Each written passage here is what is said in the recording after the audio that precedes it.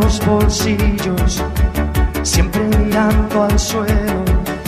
la barba sin afeitar, desde hace tres días ya, enciendes un cigarrillo, no paras de fumar, las noches son eternas, del día mejor no hablar, y empiezas a preguntarte,